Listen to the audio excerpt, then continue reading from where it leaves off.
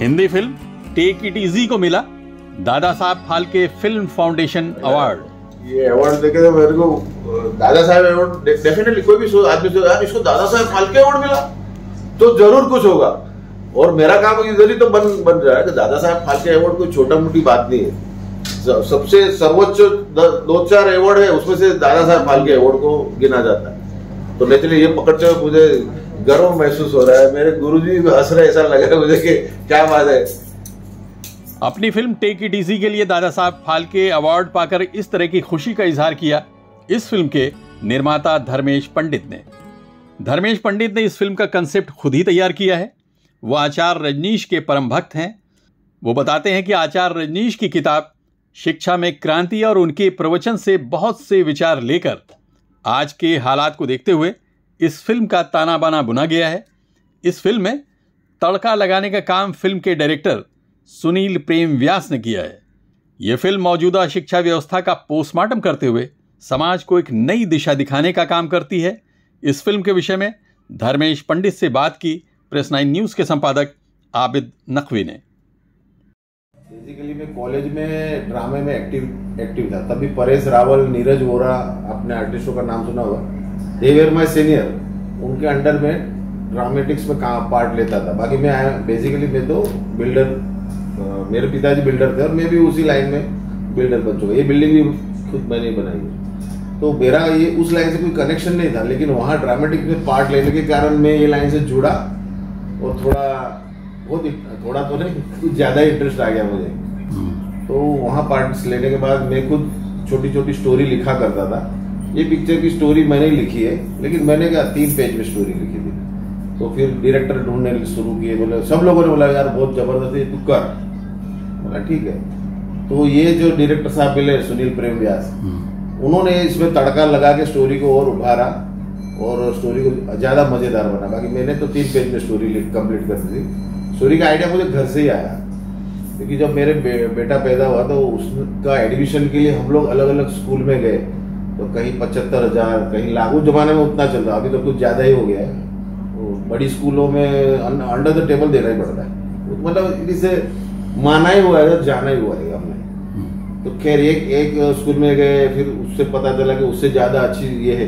यानी comparison competition वही से स्टार्ट हो गई मेरी। तो फिर एक स्कूल में नहीं लिया, फिर दूसरी में गए, वहाँ से बोला ये उससे ज़्यादा है। अच्छा मैंने मेरे बेटे को वहाँ से एडमिशन कैंसिल करा के दूसरी स्कूल में लिया, क्योंकि इसका स्टेटस और ज़्यादा है। फिर तीसरी में लिया। रायंस international school विग्योर international school Janki Devi school ऐसी तीन स्कूल मैंने वही टाइम में मैंने चेंज की। अच्छा ये सब मेरे घर से मेरी वाइफ वो मेन कंट्रोल वाली वो है। तो वो, तब मुझे पता चला कि यार ये क्या चल रहा है। इसी पे बेस पे मैंने उस, ये स्टोरी की रचना की कि भाई कंपेरिजन और कंपटीशन चालू ही है हर जगह पे। इस पे से मैंने ये तीन पे जो स्टोरी बनाई, सब लोगों ने बोला कि दोस्तों ने कि यार इस पे कुछ बनाना चाहिए मुझे तो मैंने फिर ये सुनील प्रेम व्यास जी को बोला, उन्होंने तड़का लगाया स्टोरी मज़ेदार हो गई। तो चलो, अभी बनाते तो ये दौर मुझे बराबर याद है 2013 में शुरू की और 2015 में स्टोरी मूवी खत्म हुई और तो पूरी टीम का कौन कौन लोग हैं इसमें? किस तरह से उनके बारे में क्या बताएँगे? सुदीप सी बाकी की फ़िल्म बैकग्राउंड में जितने लोग कनेक्शन में मैं आया उनके थ्रू आया और मेरे जो पुराने कांटेक्ट थे जैसे नीरज वोरा सर परेश रावल जी है उन उन लोगों ने भी मुझे काफ़ी हेल्प की। हाँ विपुल शाह वो भी मेरे कॉलेज से थे बिलोंग करते तो उन लोगों ने प्रेरणा दी ऐसे नहीं ऐसे होता है ऐसे नहीं ऐसे होता तो धीरे धीरे धीरे कारवा बनते लोग जुड़ते गए कारवा होते गए ऐसा। इस तरह मूवी स्टार्ट हुई और कंप्लीट हुई दो साल लगे। थे नहीं आपकी सोच तो एक तरह से आर्टिस्टिक या फिर उस तरह से थी जो रियल उस पर थी। इसको कमर्शियल में जो है ले जाने के लिए इसलिए कि आप तो बिल्कुल कमर्शियली इसको उतार रहे हैं। कमर्शियली एक स्टोरी बनी थी दूसरी बनाने का मन होता ही है अगर उसको ज़्यादा अच्छा रिस्पॉन्स मिले। तो कमर्शियल पे फ़ायदा तो कोई भी आदमी सोचता है क्योंकि थोड़ी बंद कर देना है मूवी आगे भी तो बढ़ना है हमको। तो already take it easy new generation करके नई स्टोरी मैंने लिखी हुई है। जो कॉलेज लाइफ पे वो करती बिलोंग करती। तो बस इसके बाद मैं उस उसकी स्टार्ट करूँगा। लेकिन definitely I need some financial वो सपोर्ट जिसके के कारण मैं आगे बढ़ सकूँ। तो थोड़ा इसमें इसलिए कि अभी प्रोमो देख रहे हैं तो इसमें कोई सॉन्ग वगैरह कहीं कुछ इस तरह से? सॉन्ग तो इतने प्यारे प्यारे सॉन्ग है। सोनू निगम जी ने गाया है शंकर महादेवन ने गाया है जावेद अली जावेद अली आई थिंक तो तीन बड़े बड़े सिंगर है तो सॉन्ग इतने प्यारे हैं कि आप खुद सुनोगे तो बोलते ना एकदम रोमांच आ जाएगा आपको। ये क्योंकि ऐसा हुआ कि जब ये सोनू निगम जी ने गाया गाना तो उन्होंने खास बोला कि दरवेश ये सॉन्ग में ही गा हुआ लेकिन अभी मैं हिमालय की टूर पे तो फ़िलहाल तो एक महीना इसको स्टॉप रख पटा के आके मैं करूँगा।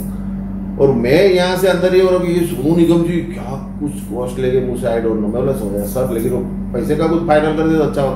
अरे जो देना है दे देना लेकिन ये गाना मैं गाऊँ तो मैं बोला हाँ चलो। और सोनू निगम जी जो गाना गाया तो सेट पे जितने बच्चों की माँ आई थी और मैंने पहली बार वो सॉन्ग बजाया तो सॉन्ग रोने लगी। आँख में आँसू गिरने लगे। बोले मैं पहली बार खुद भौचक कर रही क्या हो गया? स्टेट पे। सब लोग गाना गा के रो पड़े।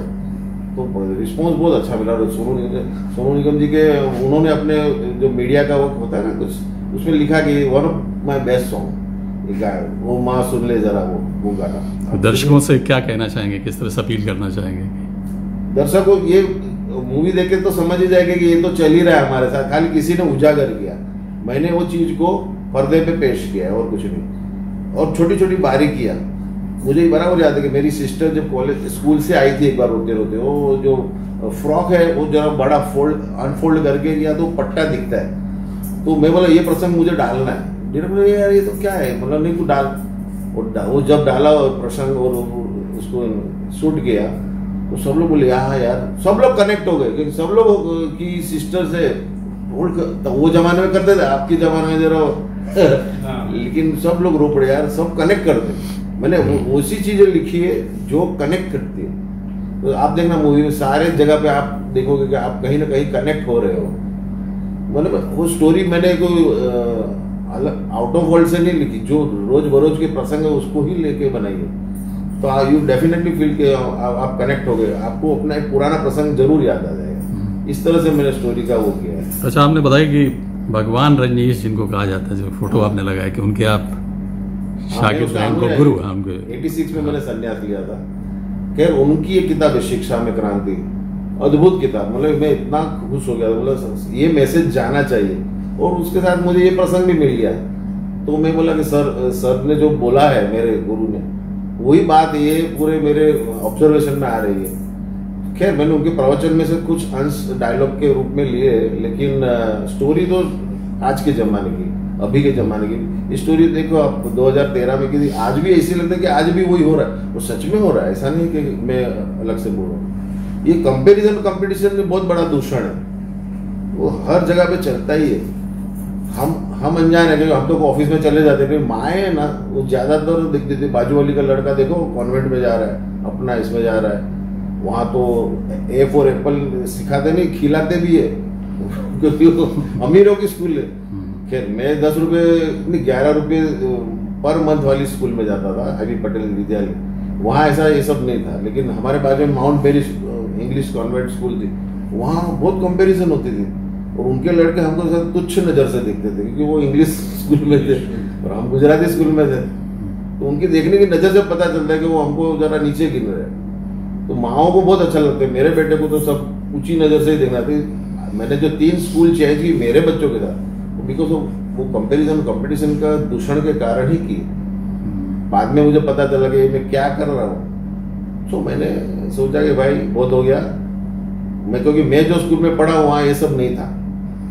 हम एक दूसरे के डिब्बों में से खा मिल जुल के खा लेते थे। कभी ये नहीं पूछते तू ब्रेड लाया और जैम बटर लगाया और मैं रोटी और भाजी लाया? हम हम लोग ऐसा नहीं करते थे। तो आप कंपेयर किससे करें? किस फ़िल्म से लोग जो है कनेक्ट करें इस फ़िल्म को आने वाली? आपकी। मैं तो खाली नज़र खोलने का काम करो मैसेज देने की कोशिश करो नहीं इससे पहले कई फ़िल्म बच्चों को लेके और इस एजुकेशन को लेके बनी है जैसे आमिर खान की एक फ़िल्म आई थी मैं इसमें एक किस्सा कहूँगा कि जब मैंने सेंसर करवाया तो सेंसर वालों ने स्टैंडिंग ओवेशन दिया। मतलब कि आपने ऐसी मूवी बनाई है कि आमिर खान की ये भी ये भी फेल है इसके सामने। लेकिन बोला कि ये लिखना मत आप मेहरबानी करके। बोला ठीक है लेकिन आज आप बोलने बोलने में मुझे याद आ गया तो उन, लोगों को भी इतनी अच्छी लगी कि आपने बराबर आँख खोली मैसेज आपका बराबर गया है। और लास्ट का जो है क्लाइमैक्स है वो आप देखोगे तो आपको लगेगा कि वो अच्छा मैं बोल नहीं सकता हूँ कि वो मेरी पिक्चर का मेन सस्पेंस है जो एंड में खुलता है। तो आप मूवी देखोगे तो आपको पता चलेगा कि क्या बात है। हम लोग थक गए लेकिन बच्चों ने न्याय दे दिया मूवी को ऐसा आपको पता चलेगा। ये तो श्योर है। तो आपको उम्मीद है कि शानदार इसको जो है रिस्पांस मिलेगा? अरे ज़बरदस्त। मेरे कॉन्फिडेंस है। और इसीलिए तो दस लैंग्वेज में ये डब करके लोग लेके जा रहे हैं मेरे खुद से ऐसी एक मूवी बताओ चलो जो इतनी लैंग्वेज में डब हुई हो। सामने आके खुद उनके खर्चों से डब करवाते। ये जो बिपिन भाई का मैंने आपको उदाहरण दिया तो उन्होंने अपने पैसे से वहाँ डब करवा के वहाँ रिलीज़ करने जा रहे हैं। उनको इतनी अच्छी लगी। तो मुझे श्योर है कि कोई भी आदमी ये मूवी देखेगा वो अपने आप को कनेक्ट करेगा अपने भूतकाल से। तो उसमें मुझे कोई शंका नहीं कि पिक्चर फेल होएगी। तो रजनीश जी का जो है कितना असर है इस पे? और बहुत। ये कंपैरिजन कंपटीशन का दूषण उन्होंने शिक्षा की क्रांति में बहुत सारे लेक्चरों में बताया कि बच्चों को कैसे शिक्षित किया जाए। तो वो उसी चीज़ को मैंने बैकबोन बनाया मेरी स्टोरी का। जी। जब ये स्टोरी लिखी गई तो मैंने सुनील व्यास जी को लगा ये स्टोरी का टाइटल है अभी अपना वर्किंग टाइटल है। कंपैरिजन एंड कंपटीशन ये टाइटल ये पकड़ के शीर्षक को पकड़ के चलना है। आपको कहीं भी च्यूत नहीं होना है मार्ग से। डिटोर नहीं होना है। तो कई बार हमारे झगड़े होते थे। तो मैं बोलता भाई ये कट करो। ये फ़िल्म की कथा वस्तु से कहीं और जा रहा है। तो कंपैरिजन और कंपटीशन को कंटिन्यूस मद्देनजर रख के स्टोरी को लिखा गया है। और ये पूरा मुझे मैंने ऐसे बोले तो मैंने गुरु से चुराया हुआ है ये आइडिया लेकिन फ़िल्म में ये पर्टिकुलरली इतनी अच्छी तरह दर्शाया गया तो सब लोग कनेक्ट कर पाते अपने आप को। और नज़र खुल जाएगी सबकी मुझे पक्का आत्मविश्वास है तो अभी भी भक्त हैं आप उनके? या हाँ जी। मतलब कंटिन्यू आज उनका मैं मतलब उनकी माला ऑलवेज में पहने वो। ये मेरे गुरु जी का फ़ोटो या उनके वो है। इस फ़िल्म से समाज को यह संदेश देने की कोशिश की गई है कि आप अपने बच्चे को एक अच्छा डॉक्टर इंजीनियर या कोई पेशेवर बनाने के साथ साथ उन्हें एक अच्छा इंसान कैसे बनाएँ? Abid Naqvi Press Nine News Mumbai.